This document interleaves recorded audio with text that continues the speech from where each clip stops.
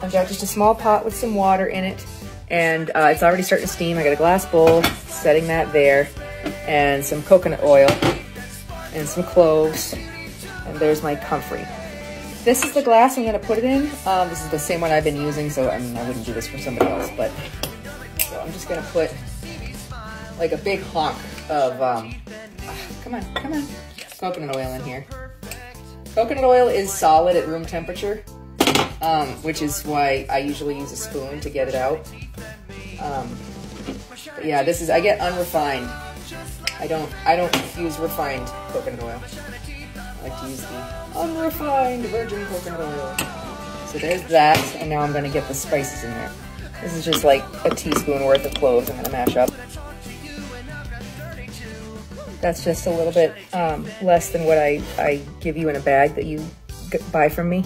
I just ground that up in the food processor, and I'm gonna dump it straight in there. That's actually probably a little bit more than I need, but you know, there. I'll pinch a little off. But yeah, you're just, you're infusing this in the coconut oil. So I probably only need like maybe two teaspoons worth or something like that. I added a little more coconut oil to make up for it. So this has been simmering for about 30 minutes and it's just, you know, the double boiler method. It's all greeny colored and I'm just going to strain it into this and we'll see. Hopefully I don't burn myself.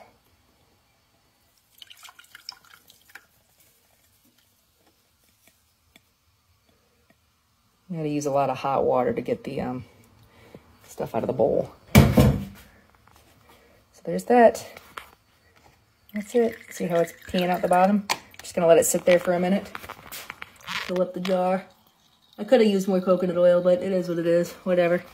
So just as an update, um, I've been told by several dental people that um, teeth aren't bones and can't actually heal themselves. I'm still trying it anyway. It's definitely doing something to my gums. So quite frankly, it might actually be healing my um, recessed gums, uh, which is still a bonus in my book, honestly.